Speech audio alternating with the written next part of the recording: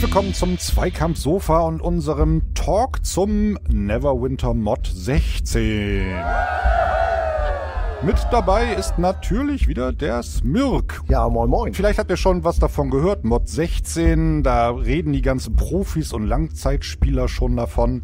Aber wir haben uns ja so ein bisschen auf die Einsteiger, die Neulinge, die Newbies in Neverwinterland äh, spezialisiert. Deswegen wollen wir so ein bisschen erklären, was passiert da eigentlich, worum geht's da, was sind die Änderungen im Vergleich zu jetzt und wollen das nicht auf dem Pro-Niveau machen, wo man schon über einzelne Skills Kills und äh, irgendwie haut der äh, 3000 mehr Schaden raus oder weniger, sondern erstmal ganz allgemein, weil ich habe es auch sehr oft im Chat gelesen und auch in der Allianz und der Gilde Fragen gelesen. Mod 16, was ist denn das überhaupt? Hä? Mod ist erstmal ein Modul und äh, jedes Update von Neverwinter wird in Modulen gekennzeichnet. Und ähm, 16 ist ja schon ziemlich viel. Und normalerweise sind es auch immer nur Geschichten oder neue Levels und Karten, die hinzugefügt werden. Aber oh, die haben auch schon ein paar Sachen inhaltlich geändert. Also ein Modul ist eben mehr als ein Patch oder so, genau. nur ein Update, sondern schon ist schon größer, inhaltlich genau. eine Ergänzung gewesen, jedes Mal. Also die verändern jetzt schon ziemlich viel. Die ganze Spielmechanik ändert sich jetzt mit diesem Modul 16 und äh, das ist schon echt viel und auch unübersichtlich. Und da kommen schon ziemlich viele Fragen hoch. Hey, wie geht dies, wie geht das? Und äh, deswegen versuchen wir heute mal in diesem Video ein paar Fragen zu beantworten. Es gibt natürlich auch viel, was Leute schon auf den Testservern mal ausprobiert haben und was sie sich dann ausgerechnet und überlegt haben. Wir versuchen es mal bei den offiziellen Sachen zu lassen. So ein bisschen ähm, unsere Meinung werdet ihr natürlich auch über die Sachen hören, aber es ist halt nicht der, der Pro-Guide über Mod 16, sondern wir wollen euch einfach mal so den Überblick verschaffen. Was erwartet euch und was, äh, wie ist es eigentlich jetzt, damit ihr mal noch so den Vergleich habt als Einsteiger Einsteiger und Neulinge. Fangen wir mal an mit der Klassenüberarbeitung. Ja, äh, der, die erste Änderung äh, sind tatsächlich die Namen der Klassen und es ist natürlich für jemanden, der gerade anfängt oder schon ein bisschen spielt, äh, auch natürlich eine Änderung, äh, wenn er jetzt irgendwie hört, der Charakter hieß früher so und heute heißt er so. Aber ich wollte mal einen kleinen Überblick bringen. Also der äh, Glaubenskleriker zum Beispiel, der heute so genannt wird, wird in Zukunft aber nur Kleriker heißen und äh, oder der beschützende Kämpfer der Kämpfer. Ja, eidgebundener Paladin wird Paladin, wachsamer Waldläufer Waldläufer, Trickster Schurke Schurke, vernichtender Hexenmeister nur Hexenmeister, taktischer Magier nur Magier und ja, der Auffälligste Änderung, Zweihandwaffenkämpfer wird Barbar. Zweihandkämpfer Barbar, genau, ja. Äh, fantastischer Namensänderung, äh, eine, eine wahre Wandlung, würde ich behaupten. Ja, und wie findest du das? Ja, sie haben es äh, kürzer gemacht, das stört mich alles nicht. Ich ähm, habe im Prinzip, bei mir ist das, der könnte auch Schniddeli Widdeli heißen, das wäre mir eigentlich egal, solange man weiß, was sich dahinter verbirgt. Ich finde es halt schon krass, ich erinnere mich auch, du hast mal gesagt, du hast mal einen Zweihandwaffenkämpfer gespielt, fandst du cool, aber einen Barbar würdest du nie wählen. Also ja. den Begriff finde ich halt schon ein bisschen schräg äh, im Prinzip. Ich weiß, was sie meinen, weil das ist halt der Barbar ist so klassischerweise, der in Wut ausbricht und dann als Berserker genau. ähm, so der, stärker wird. Für ja, mich ist ein Barbar ist so ein typischer Conan, der äh, so eine Unterhose äh, und seinen großen Schwert irgendwie rumläuft. Der Zweihandkämpfer ist für mich so auch schon wieder eher so ein Typ, der Rüstung trägt und äh, schon ein bisschen ritterähnlich ist. Ähm, aber kommt vielleicht auch ein bisschen aus dem Rollenspielbereich, weil ich auch lange Rollenspiel gespielt habe und da ist natürlich der Zweihandkämpfer was vollkommen anderes als Barbar. Aber auch wieder, ja, das ist nur eine Geschmacksfrage. Das hat keine große Auswirkung auf das Spiel, aber eine Änderung. Genau. Äh, also mir persönlich ist echt völlig egal. Schlimmer oder äh, anders, anders. finde ich, finde ich das Thema Talente. Talente.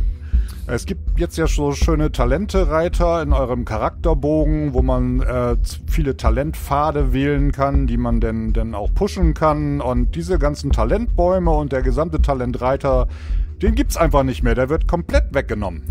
Ja, wird also einfach eingestampft. Oder, ähm, anstatt dieser ganzen Tabs äh, gibt's dann nur noch eine Übersicht, die übersichtlich äh, eure Talente dann aufweist, äh, in denen dann du dann was wählen kannst. Ja, es sind deutlich weniger Talente als vorher. Man hat pro Vorbildfahrt fünf Paare von Talenten und man kann immer nur ein Paar davon auswählen. Also ähm, es sind insgesamt, weil es auch auf eine Seite passen muss, halt irgendwie weniger als vorher. Und ähm, man kann sich jetzt auch so ein bisschen dann spezialisieren. Jede Klasse hat zwei verschiedene Richtungen jetzt. Also man könnte jetzt als Barbar, ehemals Zweihandkämpfer, auch äh, tanken, also als Tank unterwegs sein. Das war vorher nur ganz begnadeten Spielern möglich, sage ich mal. Ansonsten war der einfach der Schadensausteiler oder auch der Kleriker, der äh, bisher nur als Buffer oder als Heiler unterwegs war, der kann jetzt auch mal richtig Schaden raushauen. Ähm, wird als DPS-Klasse sogar gewertet, wenn er so geskillt ist. Ich weiß nicht, ob das so das Richtige ist und äh, ob die das mit den Verteilen dieser Talente auch wirklich richtig hingekriegt haben, weil man hat weniger und wenn du mich fragst, wird sich schnell herauskristallisieren, welche fünf muss jeder nehmen in seiner Klasse und welche zieht man hoch und die anderen bleiben dann genauso liegen wie bei dem Talentbaum vorher, wo man 40 verschiedene oder 60 verschiedene Talente hatte und daraus wählen konnte. Da hat man auch irgendwann gewusst, die Talente nehme ich, die nicht oder so. War vielleicht ein bisschen kompliziert, aber man hatte letzten Endes mehr Freiheiten. Ich konnte mehr ausprobieren, wenn ich ähm, ja, einfach die die verschiedenen die verschiedenen Builds, die dann auch im Nachhinein im Internet zu lesen waren, die waren auch immer auf verschiedenen Theorien basierend und mal, die, haben, die einen haben gesagt, hey, nimm das, die anderen nehmen das. Ähm, hier kann es durchaus sein, dass es nachher heißt, hey, DPS, also Schadensverursacher, das muss unbedingt dann die Klasse X und die Spezialisierung Y sein, sonst alles andere ist Mist. Und es kann wirklich sein, dass manche Charakterklassen hier wirklich im Hintergrund getreten werden. Ähm, ich bin ein bisschen skeptisch, dass ich, ich spiele einen Waldläufer, äh, die sagen halt, hey, der wird spezialisieren können, äh, sich auf Fernkampf und sich spezialisieren können auf Nahkampf. Fernkampf, Nahkampf, aber ich glaube nicht, dass Fernkampf gut funktionieren wird ähm, einfach so aus der Historie heraus. Aber auch das sind jetzt nur eine Vermutung. Äh, wir werden das, das werden wir wirklich erst sehen, wenn das Spiel auf 16 up, äh, abgegradet worden ist. Aber äh, hey, ich würde es jetzt mal anders formulieren, wenn ihr wirklich neu in Neverwinter seid, es gibt ganz viele, die sagen, äh, ich brauche irgendwie ein Bild, weil bei den ganz vielen Talenten, die es da jetzt so gibt, da weiß ich überhaupt nicht mhm. was und ich habe keinen Bock, mich sechs Monate damit zu beschäftigen mit meinem Charakter. Äh, wie mache ich denn das? Das wird alles viel einfacher für euch. Also es gibt nur noch eine Handvoll Talente, die man überhaupt irgendwie wählen kann und da wird es ganz schnell sich herauskristallisieren. Wahrscheinlich braucht man nicht mal einen Guide, die ihr lest, was die können und dann wisst ihr automatisch schon, was ihr da nehmen müsst. Also ich glaube, dass das wird für Einsteiger einfacher für Langzeitspieler, glaube ich, ist einfach so die, ähm, der Reiz raus, mehr Builds auszuprobieren und mal die Kraft auszutauschen und dieses und jenes mal zu machen. Meine Meinung. Ja, also ich hab, bin jetzt nie jemand gewesen, der viel ausprobieren musste. Ich habe mir ein Bild angeschaut und gesagt, okay, das passt zu mir und das habe ich das gemacht. Ich glaube auch, dass äh, es für einen Casual Gamer, für einen Anfänger oder für, einen, für einen, äh, jemand, der jetzt gerade einsteigt, ist das, glaube ich, eine gute Entscheidung, dass es ein bisschen aufgeräumter, ein bisschen weniger da ist. Äh, für einen bestehenden Langzeitspieler ist es vielleicht ein bisschen ärgerlich, dass ein paar Sachen verschwunden sind, aber ich glaube, es wird keinen großen Unterschied machen. Oh, abwarten. Abwarten. so, ähm, Kraftpunkte, die ihr mit dem Leveln, denn irgendwann gab es auch mal einen Kraftpunkt, den ihr ähm, verwenden konntet, um äh, wieder was freizuschalten. Die sind einfach stumpf verschwunden. Die braucht ihr gar nicht mehr. Gibt's nicht mehr, ja. Das ist für den Einsteiger wahrscheinlich egal. Ich finde es auch dann nur schade für den Langzeitspieler. Ähm, also die haben lange geackert, um alle Kraftpunkte zu haben. Oder noch schlimmer, die gab es auch mal eine Weile, ich weiß gar nicht, ob es die noch gibt, Doch, zu kaufen. Mal. Also für gegen Zen Echtgeld oder später nachher auch natürlich im, im AHA, im Auktionshaus. Ähm, also wenn ich mir jetzt vorstelle, du hast da echt Geld investiert und jetzt sagen die Spieleentwickler, die gibt's nicht mehr. Aber das, das finde ich schon weg. Nee, das ist nicht so nett mehr, ja. Was sie eben noch geändert haben, ist das äh, gesamte Tanken und Heilen als Spielmechanik. Ähm, wichtigste Änderung da ist, Lebensentzug fällt weg. Was ist die Änderung zu jetzt? Wir haben jetzt jede Menge Lebensentzug. ja, mit Lebensentzug ähm, haue ich einem äh, Gegner einen auf die Nase und äh, füge ihm Schaden zu und bekomme natürlich dann mit Lebensentzug Leben hinzu zu meinem Leben. Also ich heile mich automatisch und diese äh, Mechanik entfällt und somit äh, kann ich mich nicht mehr heilen auf diese Art und Weise und somit müssen andere Mechaniken her und das haben sie halt geändert. Ja, also es, den Spielmachern war es einfach zu viel. Die Leute mussten sich gar nicht mehr heilen, weil sie alle so viel Lebensentzug, also die High-Level-Spieler hatten, dass ähm, sie im Prinzip so durch die Dungeons gerannt sind und äh, ähm, ein echter Heiler überhaupt nicht mehr vonnöten war. Und das wollen sie halt jetzt wieder ändern und deswegen geben jetzt äh, Heilung, Paladine, Kleriker und Hexenmeister. Und den muss man wahrscheinlich auch mitnehmen, weil man sonst nur äh, Tränke nehmen kann und nur ganz, ganz wenige Quellen von Lebensentzug überhaupt noch existieren im Spiel. Ja, ich glaube, das mit den äh, Heiltränken wird sogar noch nicht mal funktionieren, weil äh, Heiltränke, Heiltränke äh, haben ja auch eine Cooldown. Und du kannst halt nicht immer trink, trink, trink, trink, trink machen. Äh, das geht halt nicht. Deswegen brauchst naja, du. Hoffentlich haust du auch mal irgendjemanden wieder tot zwischendurch, aber okay. Nebenbei. Ja, und, und, und das Blocken, also das, das Tanken und äh, Aggro ziehen, das funktioniert halt auch ein bisschen anders. Dafür sind jetzt die Paladine, Kämpfer und Barbaren äh, zuständig. Der, die haben so ein Schild und bisher sind die damit fast unkaputtbar. Äh, ja, jetzt ist der Schild so, dass wenn sie gehauen werden, dann wird der aufgebraucht und wenn der Schild weg ist, dann kriegen sie halt direkt was auf die Mütze. Ja, auch da gibt es ja eine Cooldown, also bis das wieder da ist und dann kann man es wieder benutzen. Also das ist eine komplette Änderung der Mechanik. Ähm, ja, ich spiele ja jetzt, ich spiele ja jetzt so einen Paladin und ja. wenn ich mich dann einmal gepimpt habe, dann habe ich erstmal für eine lange Zeit, das ist zeitgesteuert im Prinzip, wirklich so ein unkaputtbar Schild. Den muss ja. ich zwar auch wieder regenerieren, wenn der, der ist auf einmal weg und dann muss ich ihn wieder durch bestimmte Taktiken hochziehen. Aber äh, jetzt habe ich ein Schild, äh, bei, oder bei dem neuen habe ich dann ein Schild, der sich dann so nach und nach aufbraut, je häufiger ich da geschlagen werde. Und ja. ähm, schlimmer finde ich fast, ich spiele auch noch ein ähm, Kleriker, ähm, erneute Champion im Englischen, der gesalbte Champion im Deutschen. Der ist im Prinzip gar kein Heiler, sondern das ist ein Buffer. Der gibt allen Spielern, die in seiner Gruppe sind, gibt er seine Kraft ab und bufft die, dass die jede Menge mehr austeilen können und unterstützt die bei ihren Kämpfen im Prinzip. Und ein bisschen Heilung natürlich auch, weil er halt ein, im Prinzip ein Kleriker ist. Aber dafür ist er eigentlich gar nicht mehr da. Und da weiß ich nicht, ob mir ein reiner Heiler wirklich Spaß macht, der nur heilt, oder Kleriker als DPS-Schadensklasse finde ich noch schräger irgendwie.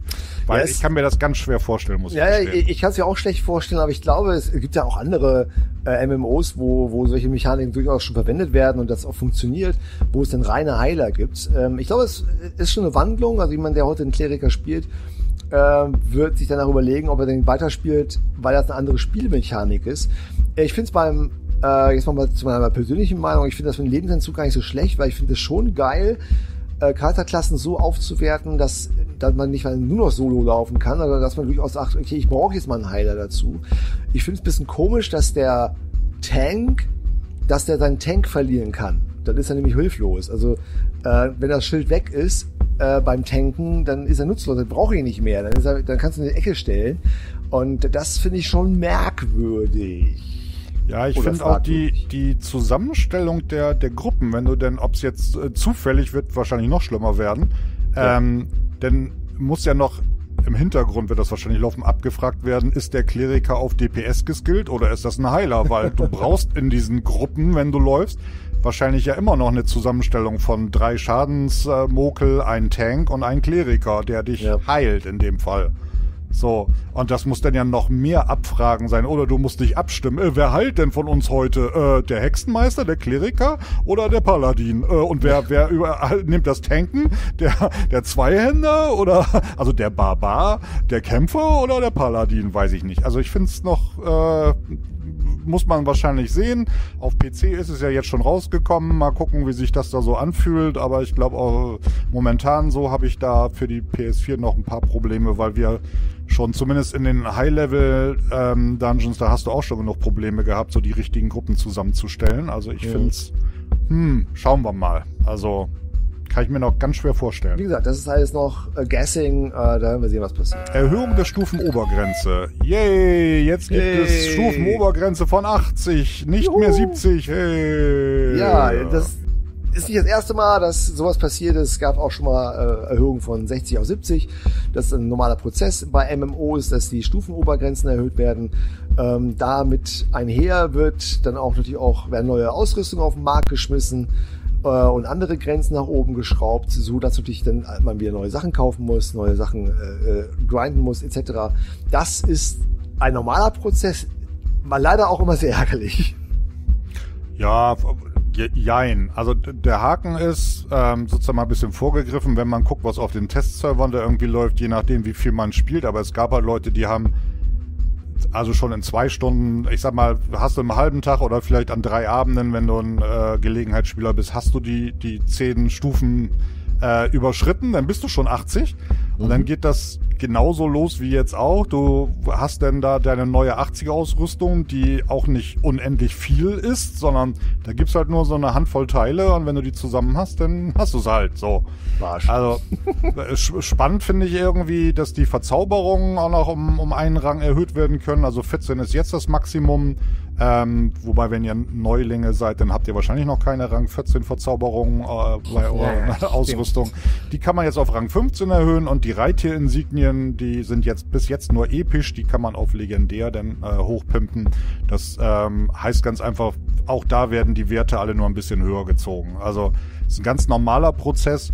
Ähm, es gibt auch eine neue tägliche Begegnungs- und frei verfügbare Kraft dazu, aber das muss man sich wirklich erstmal anschauen. Es ist irgendwie für mich so, bla, ja, macht man oder auch nicht, ist mir eigentlich ziemlich egal. Es ist äh, in Anführungsstrichen für die Langzeitspieler vielleicht jetzt nochmal ganz nice, weil sie müssen mal wieder grinden und mal wieder ein bisschen mehr tun, weil sonst hatten sie schon ihre Ausrüstung über lange Zeit und da musst du dann gar nichts mehr machen, außer immer wieder denselben Dungeon rennen. Ja, ähm, für die Neulinge, ich weiß gar nicht, äh, so schnell sollte man sich wahrscheinlich gar nicht in Under Mountain sehen lassen. Also Mod 16 ist ja auch mit dem neuen Inhalt verknüpft und da kriegt man auch nicht auf die Mütze, wenn man noch nicht so richtig gut ist und so richtig stark ist. Also da weiß ich noch nicht mal, ihr seid denn in den normalen im Flussviertel unterwegs oder äh, irgendwie im Ring des Grauens und da macht sich das wahrscheinlich noch nicht mal so bemerkbar, weil die 80er Ausrüstung werdet ihr wahrscheinlich auch nicht kriegen da. Hm. Naja. Charakterwerte und Mechaniken. Das äh, Wesentliche, warum viele davon sprechen, dass es jetzt Neverwinter 2.0 ist, ist, dass es die ganze ähm, Charakterwerte, wie sie bisher funktionieren, aushebelt und komplett neu bewertet. Ja, also das ist der größte, eine der größten Änderungen am gesamten Mod, ähm, dass wirklich jetzt äh, neue Spielmechaniken eingeführt werden, Charakterwerte wegfallen und neue hinzugekommen werden. Und äh, ja, du hast es eigentlich schon gesagt, dass der, der, die Mechanik der Konterwerte ist eingeführt worden. Ähm, Wie ist es denn jetzt? Also euer Charakter hat bestimmte Werte. Das könnt ihr in dieser Übersicht auch sehen zu eurem Charakter. Der hat eine bestimmte Kraft. Ihr habt so kritische Trefferwerte, äh, Wahrnehmung, Robustheit und so weiter. Und all diese Werte zählen für euch und euren Charakter und sind eigentlich völlig unabhängig von den Gegnern, die ähm, zwar irgendwie diese Werte auch haben, aber ihr könnt auch halt, wenn ihr in einem ganz anderen, höheren Niveau unterwegs seid und auf niedrigere Ebenen und äh, Level zurückgeht, einfach die Gegner so platt hauen, das ist völlig egal. Die zählen eigentlich nur für euch, diese Werte. Und jetzt hat jeder Gegner einen Konterwert zu einem Wert, den ihr besitzt. Das heißt, ihr habt eine entsprechende Trefferpunkte, also Lebenspunkte, und der andere hat eine entsprechende Kraft, die eure Trefferpunkte halt ähm, überbieten muss, damit er euch niederknüppelt oder ihr mehr Trefferpunkte habt als seine Kraft, damit ihr überlebt. Oder ihr habt einen bestimmten kritischen Trefferwert und hat der Gegner eine höhere kritische Resistenz, dann kommt ihr mit euren kritischen Treffern da nicht durch.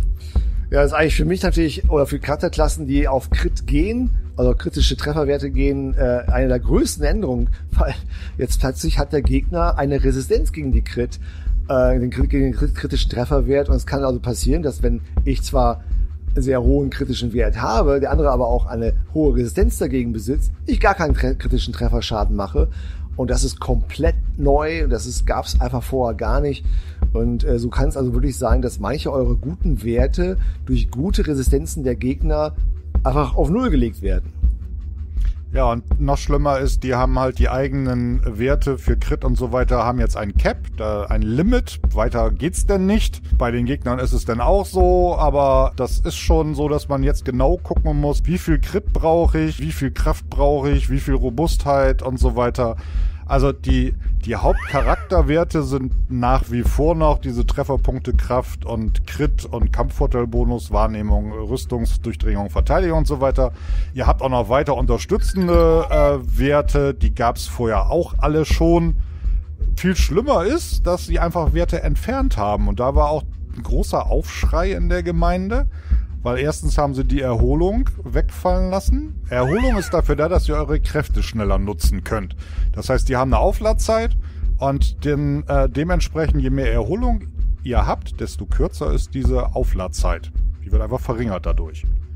Und so gab es halt äh, High-End-Spieler, die ihre täglichen und stärksten Angriffe äh, wirklich im Millisekundentakt raushauen konnten, weil die halt äh, extrem gute Erholung hatten. Ja, und das ist mh, eine massive Änderung mal wieder, was bedeutet, dass äh, man diese Kräfte jetzt nur seltener einsetzen kann. Und das heißt, man greift mit einem normalen Angriff an, man hat ja zwei, also man greift mit normalen Angriffen an und ab und zu kann man so eine tägliche Kraft rauskloppen ähm, oder eine andere Kraft, weil diese Erhöhung, diese Erholung jetzt fehlt. Und ähm, das ist natürlich eine Mechanik, äh, die uns natürlich allen Spaß gemacht hat, die schon Neverwinter gespielt haben.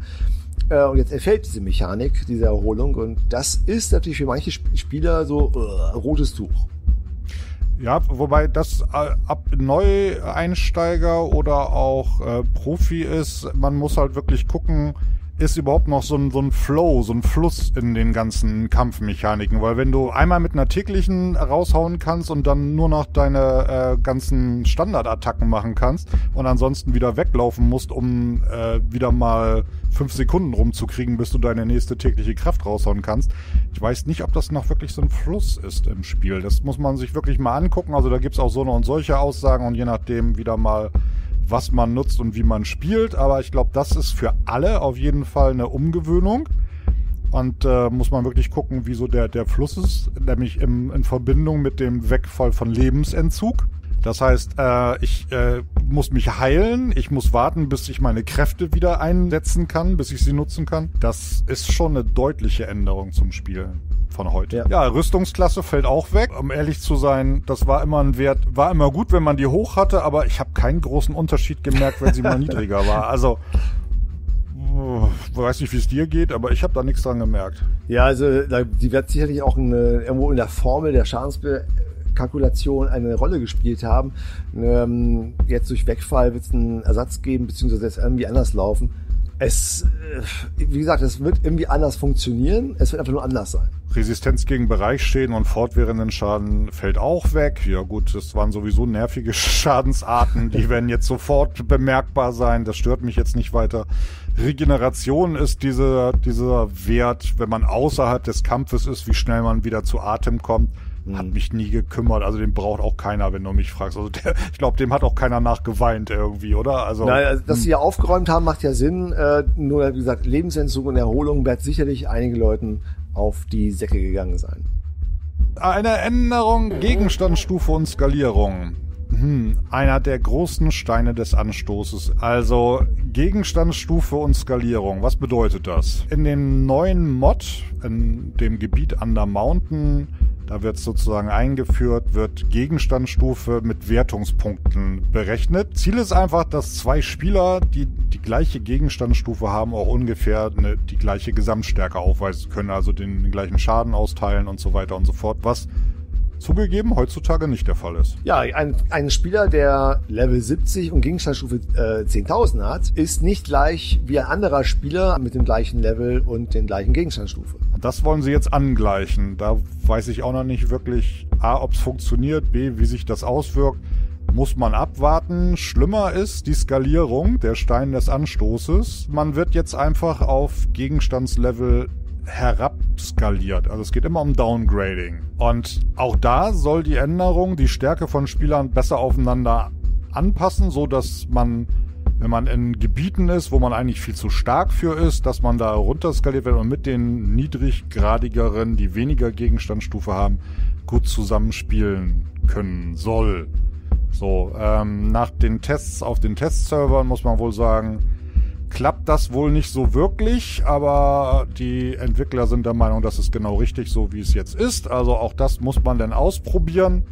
Für euch bedeutet das ganz einfach nur, dass wenn ihr auf einem äh, oder in einem Gebiet von Gegenstandsstufe 40 unterwegs seid und ja auch das Level 40 habt, kommt da jemand anderes rein, der aussieht, als wäre er Level 40, ist aber wahrscheinlich Level 80 und wird aber eigentlich nicht viel mehr können als ihr, außer dass er vielleicht seine, wenn überhaupt vorhandene Rotation besser beherrscht oder so.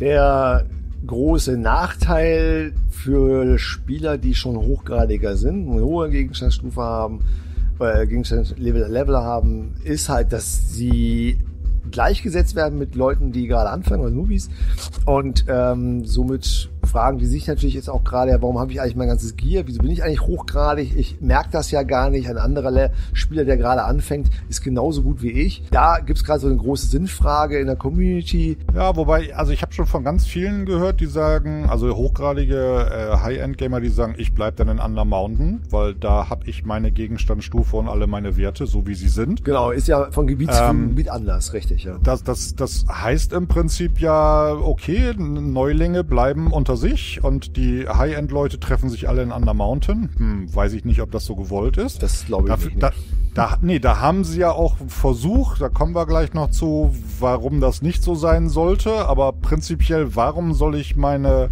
Verzauberung auf Level 15 aufwerten, wenn ich in ein anderes Gebiet springe und auf einmal nur noch eine Verzauberung Level 9 habe? ja.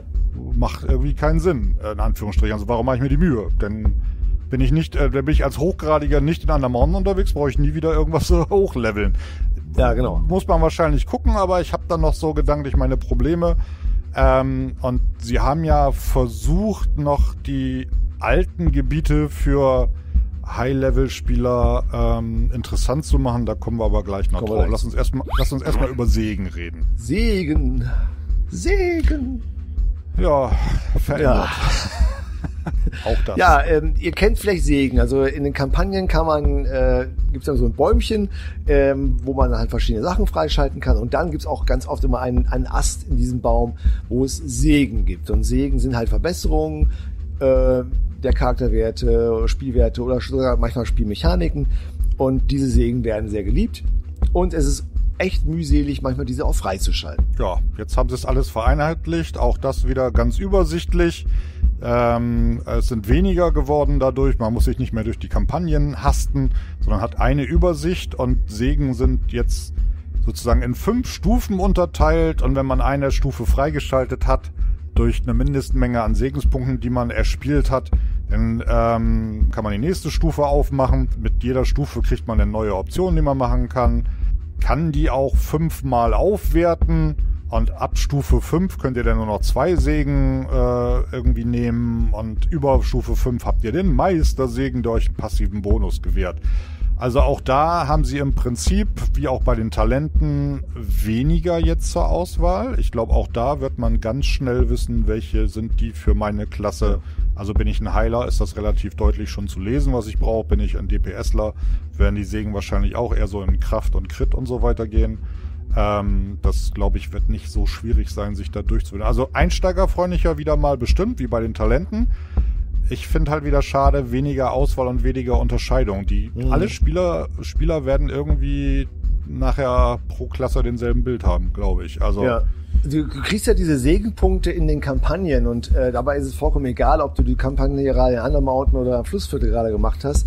Äh, vollkommen Wumpe, du kriegst einen Segenpunkt und kannst den halt auf den Segentab äh, auf irgendwelche Segen verteilen. Die haben, die Segen haben jetzt quasi nichts mehr mit den Kampagnen zu tun, aber nur die, die, da wird eine Währung erzeugt, Segen, halt die Segenpunkte. Und die, diese Währung setzt du halt in die Segen ein. Und äh, da gibt's halt nicht mehr so viel Auswahl. Und die Segen sind auch für alle Charakterklassen gleich. Es ist vollkommen Wumpe, jeder hat die gleichen Segenauswahl.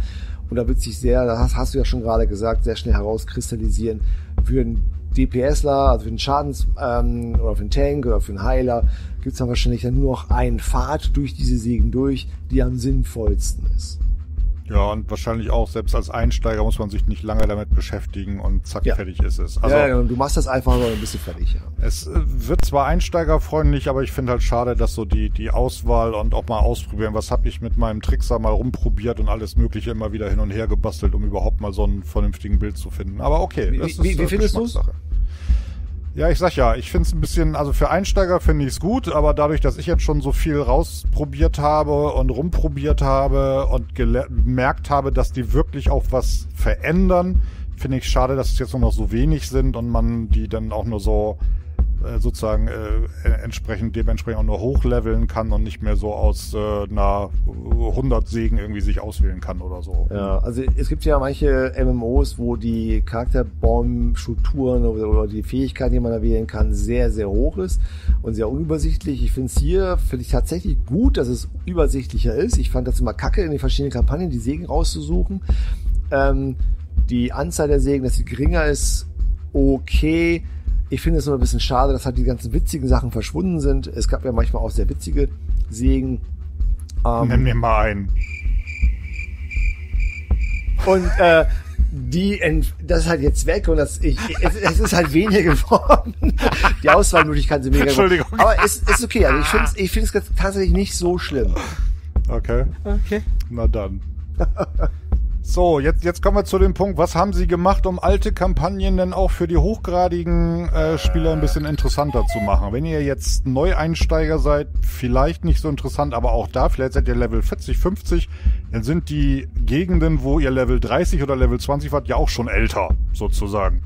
Und da kriegt ihr keinen Stufenaufstieg mehr, wenn ihr da hingeht. So, und die werden jetzt umgewandelt in Herausforderungskampagnen. Kackname. Diese Kampagnen werden skaliert, also auch da wieder, du wirst downgegradet, um zu gewährleisten, dass du da halt nicht äh, voll overpowered hingehst, als Level 80 in ein äh, Gebiet, wo alle Level 20 sind, sondern dann bist du auch Level 20, hast dementsprechend auch nur ähm, niedrigere Ausrüstungswerte und deine ganzen Verzauberungen äh, haben weniger Werte, so dass da die Gegner genauso eine Herausforderung sind als in dem Level 80 Gebiet, wo du sonst unterwegs bist.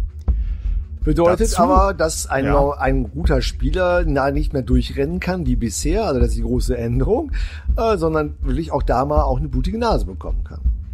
Ja, und warum soll er das machen? Weil es drei wöchentliche Quests gibt, die man sich dazu in der Protectors äh, Enclave äh, abholen kann. Und wer diese Quests denn erledigt, der kriegt Währung für die Kampagne, die er wahrscheinlich nicht braucht, wenn er Level 80 ist, weil er hat ja schon alles, außer er will mit der Kampagnenwährung sich noch irgendwas bauen, irgendwie noch einen Schlüssel für eine Kiste oder was weiß ich.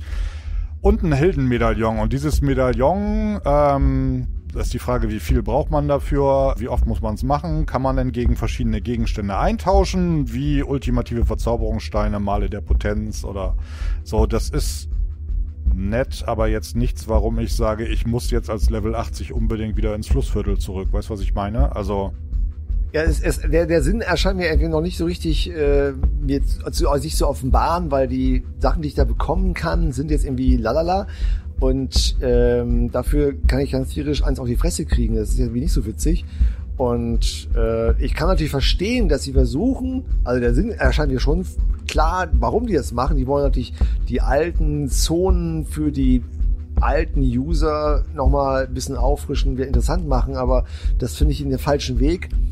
Ähm, aber das ist auch wieder eine Diskussionsfrage. Ich bin mal sehr gespannt, wie gut das wird oder wie schlecht. Also das äh, ist nochmal ein großes Fragezeichen bei mir. Also auch da wieder, als Einsteiger werdet ihr einfach unter euch sein, weil ihr werdet nicht mal merken, wenn dann Level 80 neben euch kämpft, weil der wird dieselben Probleme haben, in Anführungsstrichen, wie ihr. Der ist halt downgegradet, der kann vielleicht, weil er Rotation hat, Übungen hat, seinen Charakter besser beherrscht, das ein bisschen besser, aber ansonsten hat er erstmal die gleichen Werte wie ihr, weil Ziel ist ja gleiche Stärke, äh, gleiches Level, also es hat er dasselbe Stärke, selbe Level wie ihr. So, das ist okay. Ja. Aber ich finde es halt für einen, einen hochgradigen, okay, es ist ein ultimativer Verzauberstein, ein ultimatives Mal der Potenz. Ja, so what. Aber ob das jetzt für mich wirklich der Anreiz ist, das Ding dann irgendwie äh, jede Woche da irgendwie zu laufen, ich weiß ja nicht. Ich habe von den Ultimativen nicht so viel in der Tasche. Also ich, ich höre das schon ganz nee, das ist aber als, als, zu. Ja, aber als, als High-Level-Spieler ganz ehrlich, also ich müsste jetzt bei mir auf der Bank gucken, aber da liegen schon etliche von diesen Steinen rum. Also der, pff, weiß nicht. Also das ist so, hm, und gerade auch gefährten Aufwertungsmarken als, ja, weiß nicht. Also ja, es ist sicherlich okay und die Dinge haben auch einen bestimmten Wert, wobei ich halt auch fürchte, da man jetzt ja alles nochmal eine Stufe höher upgraden kann, werden diese Sachen halt auch irgendwie wieder weniger Wert haben, als sie es jetzt haben. Ja, das ist richtig. So, also die Preise im Auktionshaus werden auch dementsprechend fallen. So, hm, muss man halt gucken. Zusätzlich zu diesen ganz normalen Belohnungen gibt's auch noch ähm, eine extra Belohnung, wenn man sich für eine Bonuskampagne entscheidet. Das heißt, man nimmt diese wöchentlichen Quests an und sucht sich dann eine Kampagne als Bonuskampagne aus. Mhm. Wenn man das dann abgeschlossen hat, diese wöchentlichen Quests, dann gibt es Bonuswährung für genau diese Kampagne. Und die Währung der Kampagnen sind für Hochgradige eigentlich nur noch dafür interessant, um sich irgendwelche Schlüssel zu bauen in den Kampagnen oder um, um mal irgendwelche, manchmal gibt's auch irgendwelche Rüstungsverzauberungen oder sowas, aber so richtig spannend ist äh, die Währung der Kampagne sonst auch nicht. Also ja, du wirst ja als Hochgradiger meistens schon diese Kampagne abgeschlossen haben und somit bleibt es also für dich nur noch äh, sinnhaft, wenn du dann diese äh, Währung, Währung dann in die Schlüssel reinpackst. Wenn es überhaupt noch gibt, das weiß man ja auch noch nicht, aber ich, genau, ne, also weiß man auch nicht. das also, ist so, so, so ein aber Punkt. ich, ich also, finde, die Mechanik ist nicht so fürchterlich schlimm. Also äh, ich sehe den Sinn, äh, durchaus Gefährten, Gefährtenaufwertungsmarken zu bekommen, weil die, das Gefährtensystem ist ja auch wieder anders. Ähm, oder Verzauberungssteine zu bekommen und so eine andere Quelle dafür zu bekommen. Aber als äh, die große äh, Herausforderung, also äh, die große Belohnung ist das für mich nicht, jetzt so auch irgendwie in so das alte in ein altes Gebiet reinzugehen, tierisch einfach die Fresse zu bekommen, um nachher einen Verzauberungsstein zu bekommen. Also das ist jetzt so äh, noch ein bisschen unausgewogen. Schauen wir mal, wie das funktioniert. Jo, komm, weil du es gerade auch so schön gesagt hast, Gefährten aufwerten. Die Gefährten sind auch komplett überarbeitet worden. Ja, da habe ich, äh, als ich das zum ersten Mal gelesen habe, ein bisschen Angst bekommen, ähm, weil das ist ja wirklich äh, totaler Kahlschlag auch. Und viele ziehen ja ganz, ganz viel daraus, dass sie Gefährten bei sich haben. Und das funktioniert heute dann, also dann nicht mehr mit Mod 16. Naja, erstmal für, für alle Einsteiger, ihr wisst ja, ihr habt ähm, so, so fünf Gefährten dabei und einer ist der, der immer draußen mit euch rumhängt und irgendwas macht. Und diese Gefährten, die fünf, die ihr auf den Gefährtenplätzen habt, wenn ihr die schon alle freigeschaltet habt, die geben euch auch gewisse Boni. Und der, der draußen ist, der gibt euch noch ein bisschen mehr über seine ganze Ausrüstung. Da muss man jetzt so sagen, selbst die Boni, die die Gefährten euch geben, sind geändert. Das heißt, den Gefährten gibt's noch, der hat auch noch denselben Namen, aber das, was er euch gewährt als Bonus, das kann erstmal ganz anders sein. Also Ja, es damit gab geht's ja schon zum mal Beispiel los. Gefährten, die haben euch Lebensentzug gebracht und da es Lebensentzug nicht mehr gibt, wird es also da schon die erste Änderung geben. Aber auch alle, alle, all die anderen Spielwerte werden sich ein bisschen äh, anpassen und anders aussehen. Ja, aber Also- es gibt auch manche, die haben komplett andere Bedeutungen auf einmal bekommen. Die Gefährten geben ganz andere Sachen, also gewöhnt euch da nicht dran. Genauso wie eure ganzen Kräfte, die ihr nutzt, also eure Talente, die, die auch äh, irgendwelche Kräfte geben, auch die heißen vielleicht noch so, aber machen ganz anderes. Also da muss man sich sowieso umgewöhnen. Jetzt gibt es drei Arten von Gefährten, nämlich einen offensiven, einen defensiven und einen Unterstützungsgefährten. Äh, okay. Jede Charakterklasse hat dann unterschiedliche Anzahl, wie viel offensiv, wie viel defensiv und wie viel Unterstützung da sind. Und diese Boni, die sind auch in diese drei Arten unterteilt. Das heißt, auch da muss ich mir überlegen, brauche ich Offensiv-Boni von meinem Gefährten oder eher die defensiven, wahrscheinlich für einen Tank, oder bin ich eher der Unterstützer wie so ein Heiler oder so. Und dementsprechend muss ich versuchen, meine Boni über die Gefährten zusammenzukriegen. Letzten Endes bedeutet das für alle, nicht nur für euch als, als Einsteiger, äh, wahrscheinlich braucht ihr alle neue Gefährten. das, ja, ähm, es gibt ja heute, ähm, das sieht man ja ganz oft, dass, dass die, die, die hochleveligen ähm, Spieler ganz oft den gleichen Gefährten dabei haben, weil halt das der beste äh, Gefährt äh, für Schaden austeilen zum Beispiel ist. Und ähm, das wird jetzt mit Mod 16 nicht mal so sein. Das heißt, das Tierchen können wir in die Rente schicken. Und äh, aber äh, nicht mehr in Rente, nein, läuft immer noch mit, weil ähm, die haben die, die, die Obergrenze von wie viel Gefährten man mit sich rumschleppen kann, ähm, geändert. Und man kann nämlich unendlich viel mit rum mitnehmen. Es ist jetzt so, es läuft jetzt nur noch ein Gefährte mit euch rum und alle anderen Gefährten sind in eurem Säckchen und helfen euch ein bisschen. Ja, so, also die, die besten fünf von jeder Kategorie sozusagen, die geben noch einen Bonus auf das, was euer aktiv gerufener Gefährte ausmacht. Ja. So, aber weiß auch nicht. Also ich äh, habe da nach wie vor noch so meine Probleme mit, muss ich gestehen. Also das, das, das war für mich wirklich so ein, so ein, so ein Schlag ins Gesicht, weil äh, es läuft darauf hinaus, jeder braucht andere Gefährten. Jetzt haben die, die langen Zeitspieler vielleicht den Vorteil, dass sie noch einen Schrank voll mit Gefährten haben irgendwie. Ähm, aber auch da, wenn du mich fragst, wird's doch letzten Endes auf 10, 20 Gefährten rauslaufen, wo jeder sagt, die sind gut. Und auch dann ist der Rest wieder nur nice to have oder toll, dass ich den umsonst gefunden habe, kann ich verkaufen. Aber auch das ändert, das wird jetzt nur einmal umgeschichtet. Das heißt, einmal wird im Auktionshaus und in den, in den Schatztruhen äh, wilde Action sein und danach weiß jeder, ich brauche den, ich brauche den, ich brauche den. Ähm, ja, so. das ist richtig. Also die, da glaube ich, gewinnen sie nicht so viel, weil sie, äh, weil einfach der, das wichtigste der wichtigste Gefährt dann immer sich rau klar rauskristallisiert, okay, der, der ist jetzt der Beste für Schadensverteiler, äh, den müssen wir jetzt haben als Hauptgefährten und alle anderen Gefährten, da musst du halt gucken, du musst die, die so und so hochziehen, die offensive Fähigkeiten haben, die, die so äh, defensiv und, und äh, Unterstützung und dann hast du es. Also dann, dann, dann ist es ganz klar, da gibt's also weniger Varianz im äh, Spiel, glaube ich. Ähm, aber irgendwann wird sich schnell rauskristallisieren, was man machen muss. Ja, und wenn ich denn, denn höre, dass die Gefährten jetzt nur noch Gefährtenausrüstung anlegen können. Ja. Also nichts mehr mit Ringen oder so, die man sonst selber auch hätte tragen können. Dafür sind die Ausrüstungsplätze, das gleicht es für mich wieder so ein bisschen aus, jetzt universal. Das heißt, man kann halt jede Gefährtenausrüstung in jeden Platz, also ob es ein Ring ist, ob es eine, eine, Halskette ist oder genau. was, das kann man da einfach immer so reinpacken. Also ist, äh, dreimal Hut keine drauf, Vorgabe. Ja, ja, genau. Bis, Bisher haben die Gefährten halt immer feste Plätze. Du brauchst zwei Ringe und einen Talisman oder sowas. Das ist jetzt weg. Das finde ich gut. Aber dafür nur noch Gefährtenausrüstung, die ist halt nicht so ganz geil wie die Ringe, die man selber auch ausrüsten kann. Ja, aber, aber okay. da glaube ich, da wird es wieder neue Gefährtenausrüstung geben, weil ja, der Bedarf wir haben ja auch schon gelernt, alle, alle Werte sind downgegradet, also insofern passt das. ähm, okay.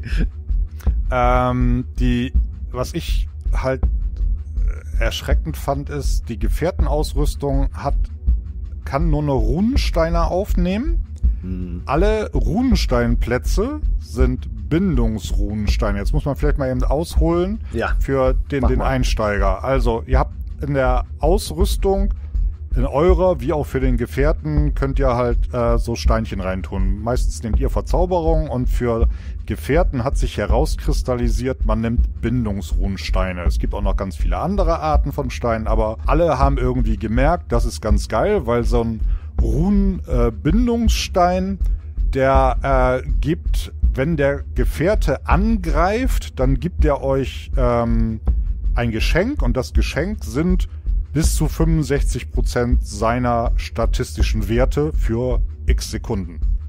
Das war immer ganz geil, weil es gab auch Gefährten, die greifen ziemlich oft, oft an und dann hat man immer für 30 Sekunden halt x Prozent von seiner, von seinen ganzen gesamten Werten gekriegt. Da hat man also versucht, die Werte des Gefährten hochzuziehen, damit dann diese Bonis dann wieder sich äh, auf den normalen Charakter äh, auswirken. Und das äh, ist halt der Trick gewesen, hat jeder gemacht. Äh, jeder hat diese Bindungsrunensteine genommen, ähm, weil das einfach das Beste war, um die Werte des Charakters hochzuziehen. Zweitbest sind die unheimlichen Runensteine, die euch nämlich permanent x Prozent von diesen ganzen Werten eines Gefährten geben. Nur war die Prozentzahl immer niedriger als die von den Bindungsrunensteinen und der, der, wir erinnern uns immer, wenn der angreift, habt ihr 30 Sekunden lang. Das heißt, wenn der in einer Minute nur zweimal angegriffen hat, habt ihr permanent seine Werte bekommen und das waren deutlich mehr als die Werte, die man über so einen unheimlichen Runenstein kriegen konnte. Jetzt funktionieren aber alle Bindungssteine so wie die unheimlichen. Das heißt, ihr kriegt permanent x Prozent und leider viel weniger als vorher die Werte eurer Gefährten oder eures gerufenen Gefährten. Da es aber auf alle Spieler gleich wirkt, finde ich jetzt diese Änderung nicht dramatisch. Sie ist dramatisch natürlich in den Endwerten, aber da es auf alle wirkt, kann man, ich glaube, damit leben. Ja, weiß, es, gibt, es gibt auch noch so, so einen Umtauschkurs. Man kann dann seine Bindungsrunensteine in unheimliche umwandeln und so. Ähm, da, da wird auch ein Händler dafür da sein. Das ist ganz okay. Ähm, aber ich muss mir das angucken. Ich finde halt insgesamt werden so die gesamten Werte runtergenommen. Man kann nicht mehr so oft angreifen. Alle Werte werden so ein bisschen reduziert. Man kriegt ein Cap rein. Ähm, alles, was gebufft wird, wird auch wieder reduziert. Weil das für alle gilt, wirkt es sich zwar für alle gleich aus, aber ich finde es einfach nur persönlich aus, aus einzelner Sicht irgendwie doof. Also. ja. Ist nicht so ganz meins. Ähm, ja Ja, gut, dass die Gefährten jetzt auch noch in fünf Kategorien unterteilt werden, ist ähm, ja. interessiert vielleicht auch den Einsteiger nicht so. So, es gibt Kämpfer, Kreaturen, Anrufer, mystische Wesen und Bestien. So what? Ähm, kümmert eigentlich keinen. Wichtig ist, was geben die mir für Kräfte? Was geben die mir für Buffs, für für zusätzliche Sachen? Und da muss man halt wirklich auch wieder gucken, welche Klasse bin ich und was brauche ich da. Und ich glaube, persönliche Meinung auch wieder da das wird sich auch wieder auf nur eine Handvoll von irgendwelchen Gefährten rauskristallisieren, die einfach jeder hat nachher. Ja. Ja, das ist jetzt, glaube ich, eine einmalige Änderung. Es ist auch, ich finde, eine Vereinfachung. Ähm, aber es wird sich dann auch wieder ganz stark kristallisieren, herauskristallisieren, wer dann der Beste ist. Ähm, und das war's dann. Es ist schon so ein bisschen Neverwinter 2.0 und ich, ja. also Gesamtmeinung, ist so, so ein bisschen so, ich finde, für Einsteiger habe ich das Gefühl, wird es irgendwie einfacher, wenn man sich für, keine Ahnung, zwei, drei, vielleicht sechs Monate für das Game interessiert, da sich einfach durchkämpft und metzelt, ist das für alle gleich. Man sieht nur alle, die auf dem eigenen Niveau sind, wo man unterwegs auch immer ist, hat die gleichen Probleme wie alle anderen letzten Endes und ähm, hat dann für ein paar Monate oder auch vielleicht nur Wochen Spaß und ist dann wieder weg.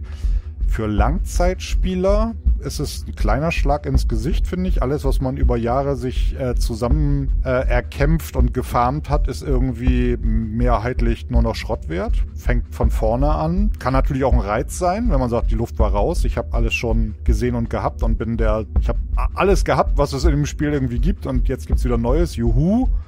Aber auch da fürchte ich, wenn man wirklich so schnell Level 80 ist und dann die 80er Ausrüstung ist ja auch jetzt nicht irgendwie 3000 Teile zum Farmen, dann wird das auch relativ schnell so sein. Und ja, die Kämpfe werden länger dauern. Auch da ist denn die Frage für uns alle, wie lang dauert denn so ein Kampf? Also sprich, oh, ich spiele mal eben eine halbe Stunde Neverwinter, geht vielleicht nicht mehr, weil ein Kampf schon eine halbe Stunde dauert und ich bin noch nicht mal den, den Dungeon durch.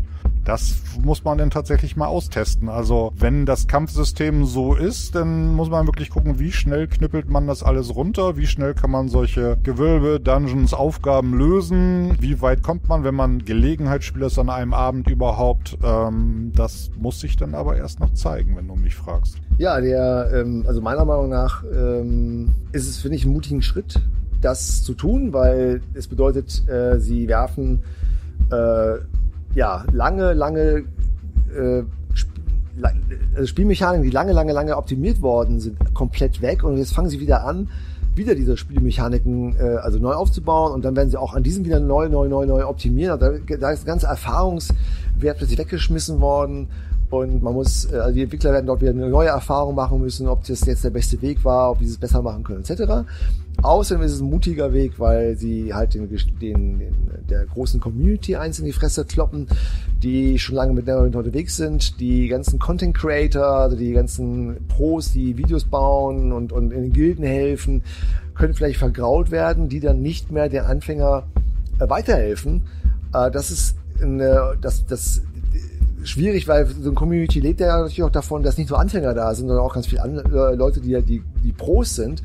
Und wenn du den Pros, die Pros vergraust, dann ist das so wie, als würdest du Influencer vergrauen. Das ist schlecht fürs Marketing schlecht fürs Produkt. Dann auch mutig äh, im Hinblick auf äh, jetzt gerade in dieser Situation, wo auch dieses Jahr sehr viele neue MMOs auf den Markt kommen werden. Da wird sich vielleicht ein Spieler zweimal überlegen, ob er dann darauf ausspringt. Ich glaube aber, ähm, jetzt mal ein bisschen Quintessenz. Äh, ich finde schon, dass es ein sehr guter Schritt ist für Anfänger. Ich sehe die, die, die, den, die, den Bedarf vielleicht auch für Neverwinter, das zu tun, ähm, es einsteigerfreundlich zu machen. Es gibt unglaublich viel Content. Das ist natürlich sehr geil für einen Spieler, der gerade anfängt und sagt, ey cool, da gibt es so viele coole Sachen, die ich hier angucken kann und mir äh, und es wird alles mit Sprachausgabe. Es gibt äh, coole, coole, coole Stories und, und äh, Kämpfe und, und Levels und es ist unglaublich viel. Das natürlich äh, hinter Level Caps oder, oder Hürden zu verstecken, äh, ist natürlich dann schlecht für einen Anfängerspieler und das, wenn der vielleicht dann vielleicht besser da, besser da reinkommt, ist schon geiler. Das verstehe ich, das, das zu tun, diese Richtung.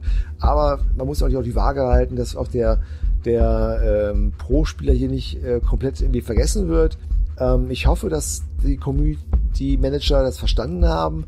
Ähm, es scheint aber gerade so, dass äh, die Pros sich der, der darüber aufregen, dass gerade die Community Manager nicht auf die Community hören, aber auch nicht da sind, auch keine Präsenz zeigen, keine Transparenz zeigen. Und das finde ich ein bisschen, äh, das ist eine schlechte Entscheidung durch, von der Geschäftsführung der, der Firmen selber. Ich selber freue mich auf Mod 16, ich bin sehr gespannt. Ähm, ich bin ähm, klar, habe ich auch ein bisschen zurückhaltend, äh, gucke ich drauf, was noch mit meinem Charakter wird. Ähm, ich kann es nur sehen bei anderen MMOs wie äh, Warcraft, äh, World of Warcraft, wo irgendwann der Wunsch nach äh, der Level 1, äh, nach, dann, nach, dem, nach den ersten Versionen von World of Warcraft äh, da aufkam und die Leute sich dann Spielserver bekommen haben, wo quasi das alte Spiel lief, weil sie nicht mehr das neue haben wollten. Das gibt's bei Neverwinter, nicht. Wir müssen jetzt das fressen, was uns vorgeworfen wird. Und das Neverwinter 2.0 äh, so nennen es viele, äh, ist jetzt einfach, äh, kommt jetzt einfach und äh, das äh, werden wir jetzt einfach schauen, wie das kommt, äh, wie, wie wir damit spielen können, wie wir da aufsteigen, wie wir damit äh, handhaben. Ähm, ja, ob es Spaß macht oder nicht, äh, ich glaube, für einen, für einen Anfänger wird es keinen großen Unterschied machen.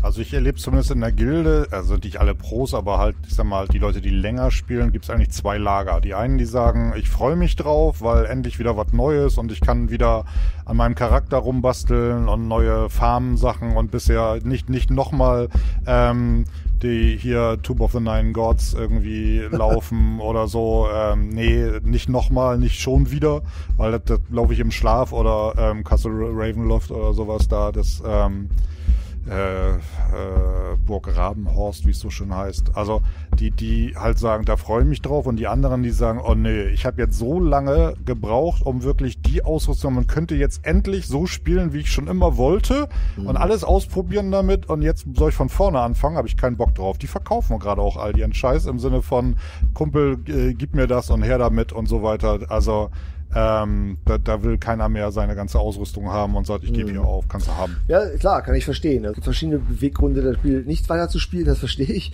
Äh, ich bin ja nun kein Pro-Spieler, also was Häufigkeit angeht. Äh, ich spiele das einmal in der Woche. Äh, also sehe ich mich eher so als Casual Gamer. Somit sehe ich, wenn ich jetzt neu anfangen würde, das nicht so heftig. Ich habe, habe lange gebraucht, meinen meinen Waldi so hochzuziehen. Und wenn der jetzt total in die Tonne geschmissen werden darf, dann bin ich natürlich auch verärgert. Aber wie gesagt, ich werde jetzt äh, erstmal abwarten. Und genau, gucken, also abwarten und Tee trinken. Und wir hoffen, wir haben ein klein bisschen Licht ins Dunkel um Mod 16 gebracht. Vielen Dank fürs Zuhören und ja, vielleicht sehen wir uns mal wieder. Bis dahin. Ciao.